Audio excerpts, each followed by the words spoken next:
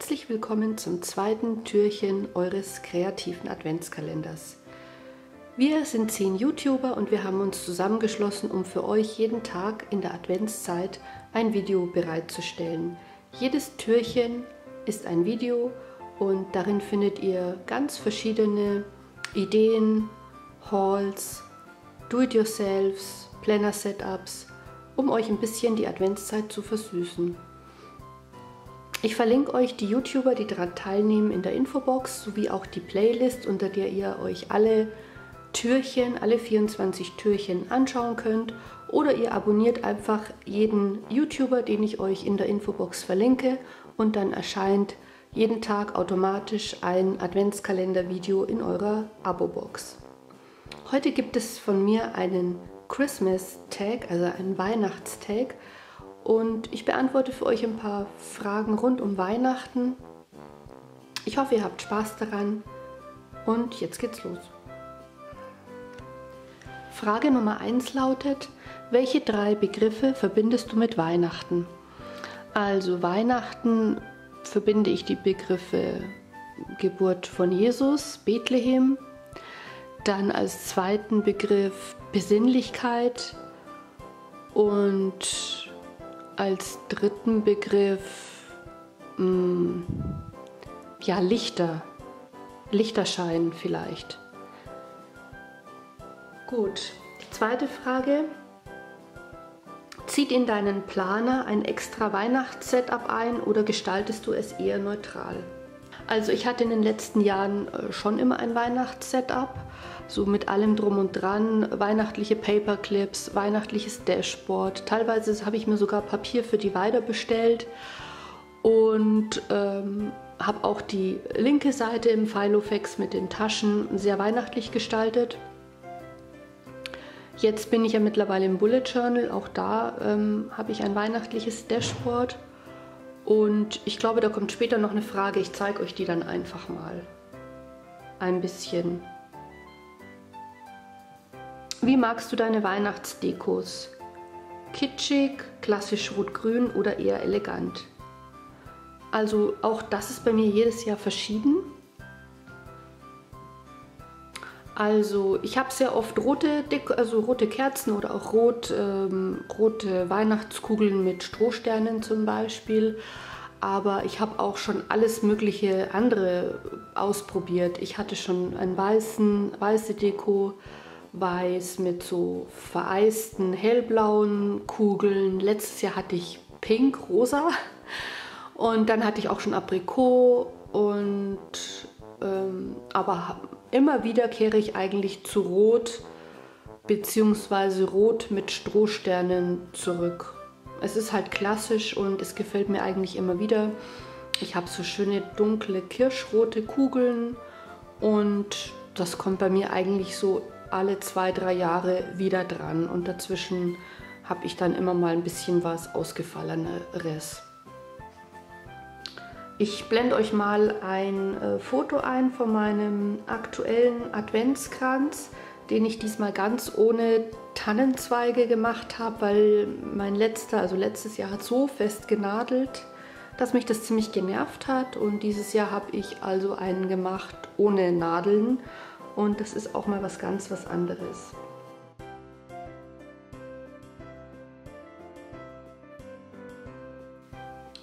So, vierte Frage. Was ist dein Lieblingsweihnachtsfilm? Und dazu kann ich euch mal eine Seite in meinem Bullet Journal zeigen. Ich muss die Seite mal ganz kurz ähm, suchen. so. Ich hoffe, man kann das jetzt einigermaßen sehen. Also, mein absoluter Lieblings, Lieblings, Lieblingsfilm, den ich mir auch tatsächlich jedes Jahr angucke, ist Tatsächlich Liebe. Den kennen bestimmt alle von euch. Also, das ist so ein Episodenfilm. Ähm, die Geschichten sind aber alle irgendwie miteinander verbunden. Es spielen ziemlich viele bekannte Schauspieler mit. Ja, also ich denke mal, den kennt jeder von euch. Als zweites Lieblingsfilm hab, äh, schaue ich eigentlich auch jedes Jahr an Haselnuss, äh, drei Haselnüsse für Aschenbrödel. Ich glaube, auch den kennt jeder. Der läuft auch Weihnachten rauf und runter in den Fernsehprogrammen. Und welchen ich auch noch sehr gerne anschaue, ist ein deutscher Film. Der ist jetzt wahrscheinlich nicht so bekannt, aber sehr, sehr lustig. Der heißt Single Bells. Und da geht es eigentlich darum, dass eine Familie, also eine Karrierefrau, an Weihnachten sich von ihrem Freund trennt und dann ganz klassisch mit ihrer Familie in den verschneiten Bergen feiern will und da alles schief geht. Und ja, der ist einfach ziemlich lustig und den schaue ich mir immer wieder sehr, sehr gerne an. Es gibt aber noch ganz viele andere ähm, Weihnachtsfilme, die ich mir gerne anschaue. Also, aber das sind so meine drei liebsten.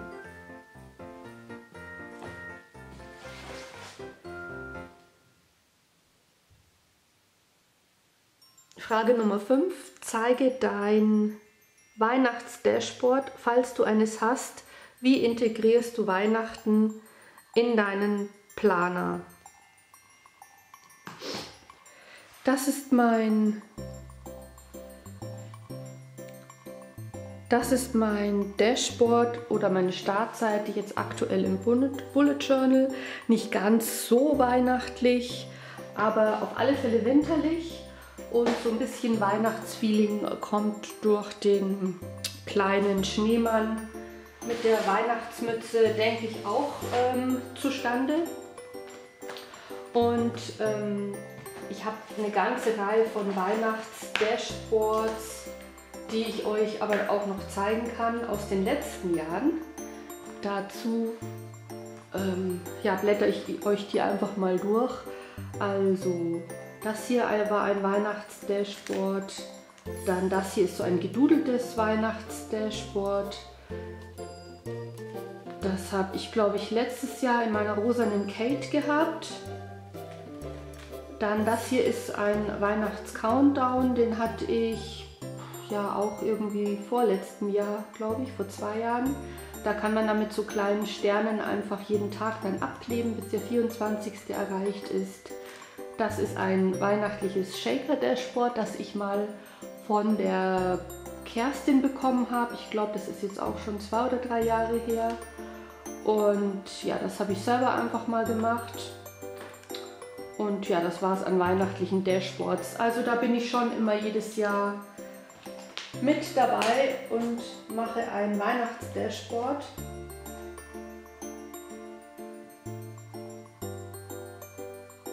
Dann, äh, wie integrierst du Weihnachten noch in deinen Planer? Also ich mache natürlich weihnachtliche Dekos in den Weihnachtswochen, also in den Adventswochen. Und auch da kann ich euch vom letzten Jahr ähm, meine Wochen aus dem, ja damals noch Filofax zeigen. Da habe ich auch immer weihnachtlich dekoriert. Also hier zum Beispiel mit einer es war die Nikolauswoche. Da habe ich dieser, diesem La Dolce Vita Mädchen damals so eine Weihnachtsmütze aufgesetzt und so eine kleine Wunschliste mit in den Planer integriert, also die Wunschliste von meinen Kindern. Dann diese Woche, wo wir dann den Baum geholt und aufgestellt haben mit den Weihnachtssocken, hat mir auch sehr gut gefallen. Und das war dann die Woche, ähm, in der tatsächlich dann Heiligabend war. Die habe ich dann so ein bisschen gold, goldig gemacht. Hat mir auch sehr gut gefallen. Ja, und gut, das ist dann nicht mehr so wirklich Weihnachten. Also da war dann so eine Mischung zwischen äh, Weihnachten und Silvester in dieser Woche. Ja, also das war im letzten Jahr. Für dieses Jahr habe ich noch keine Weihnachtsdekos, weil im Bullet Journal äh, plant man ja von Woche zu Woche. Frage Nummer 6. Was ist dein Lieblingsweihnachtssong? Also mein liebster Weihnachtssong ist ja ziemlich kitschig und ziemlich äh, abgenudelt, aber ich höre immer noch gern Last Christmas zu Weihnachten und genauso gerne höre ich Feliz Navidad Und meine liebste Weihnachts-CD ist äh, diese hier. Die höre ich also Weihnachten immer rauf und runter. Die ist von Michael Bublé und heißt einfach nur Christmas. Und ähm, ja, da sind ganz viele bekannte Lieder, die er einfach neu interpretiert hat. Die CD ist, glaube ich, schon ein paar Jahre lang auf dem Markt, aber für mich einfach meine liebste Weihnachts-CD und die kam ich äh, jeden, jedes Jahr wieder raus. Und ansonsten höre ich auch gern Weihnachtssender im Radio. Also ich liebe Weihnachten und ich genieße das auch. Frage Nummer 7. Trinkst du in der Weihnachtszeit lieber Tee, Kakao oder Glühwein? Also Kakao trinke ich eigentlich relativ selten. Da muss ich wirklich Lust drauf haben. Und da mache ich mir dann meistens äh, warme Milch mit äh, eingerührter Nutella. Also das schmeckt sehr, sehr, sehr lecker, wer das noch nicht probiert hat. Einfach Milch heiß machen und dann einen ähm, ja, großen Löffel Nutella einrühren in die heiße Milch. Löst sich dann komplett auf und schmeckt sehr schokoladig, nussig. Also so ja, wie Nutella eben. Also das trinke ich ab und an, wenn ich wirklich Lust drauf habe. Glühwein trinke ich eigentlich nur auf den Weihnachtsmärkten oder wenn ich weihnachtliche Einladungen, ja, wenn ich Weihnacht, also zu Weihnachten jemand einlade und wir so eine kleine Weihnachtsfeier oder Party zu Hause machen, dann mache ich Glühwein und dann trinke ich den auch, aber für mich muss es irgendwie kalt draußen sein und dann trinke ich ihn ganz gern, aber nicht in der Wohnung. Also da trinke ich dann äh, momentan sehr gerne Tee. Ich habe eine neue Teemarke für mich entdeckt, die habe ich in meinem letzten Video schon gezeigt. Das ist diese Teemarke, die ist, äh, kommt aus England, heißt Kappa und ähm, ich habe die entdeckt beim DM. Da gibt es ganz viele Sorten. Ich habe jetzt glaube ich drei mitgenommen und ja, die schmecken mir ganz gut. Also die Engländer können halt, können halt Tee machen. Also die haben da halt Erfahrung damit und ich finde die sehr lecker. Also wenn ihr die mal seht beim DM, äh, ja, die kann man wirklich gut trinken und ich finde die Verpackung total schön und da trinke ich momentan abends äh, ganz gern mal eine Tasse. Nächste Frage. Hast du in der Weihnachtszeit ein bestimmtes Ritual, das du jedes Jahr machst? Ja, also ich habe ganz viele Rituale, wie glaube ich jeder ähm, zu Weihnachten. Also die Weihnachtsmärkte besuchen, einen Adventskalender basteln, einen Adventskranz basteln, Plätzchen backen, Weihnachtslieder hören, auf den ersten Schnee warten, mit den Kindern ähm, Weihnachtsbasteleien machen oder ein Lebkuchenhaus haben wir jetzt die letzten Jahre auch immer gemacht. Also da gibt es ganz viele Rituale, die für mich zu Weihnachten dazugehören und ich zelebriere die auch gerne und ja, die gehören für mich einfach zu Weihnachten irgendwie dazu. Frage Nummer 9. Plätzchen backen oder kaufen? Deine Lieblingssorte? Ja, also ich backe Plätzchen mit den Kindern, allerdings bin ich kein großer Fan vom Plätzchenbacken. Also ich bin kein Mensch, der 15 verschiedene Sorten backt und da Spaß dran hat. Ich mag es nicht, weil es einfach eine ziemliche kleine Matscherei immer bei, bei mir ist und ähm, ich habe tatsächlich auch schon Plätzchen gekauft, wenn ich Besuch erwartet habe und ein paar mehr Sorten haben wollte als die zwei, die ich immer mache, habe ich auch schon Plätzchen gekauft. Ansonsten habe ich mich immer darauf verlassen, dass ich von meinen Schwestern oder meiner Mama ein paar Sorten abstauben kann weil ich esse Plätzchen sehr, sehr gerne, aber ich backe sie halt nicht gerne. Das ist halt äh, das Problem. Und meine Lieblingssorte sind eigentlich Spitzbuben. Das sind ähm, zusammengeklebte Plätzchen und innen drin befindet sich Johannisbeermarmelade. Und es muss Johannisbeermarmelade sein, sonst sind es keine echten Spitzbuben. Und obendrauf ist Puderzucker. Also das sind meine Lieblingsplätzchen, aber ich habe die noch nie selber gemacht. Ich habe mich da immer beschenken lassen. Frage Nummer 10 und somit auch die letzte Frage. Wünschst du dir zu Weihnachten von deinen lieben Planerzubehör? Also, mh, mm, eigentlich wünsche ich mir kein Planerzubehör, weil dann müsste ich konkret sagen, was ich möchte und dann ist es keine Überraschung mehr. Dann kann ich es mir auch selber kaufen.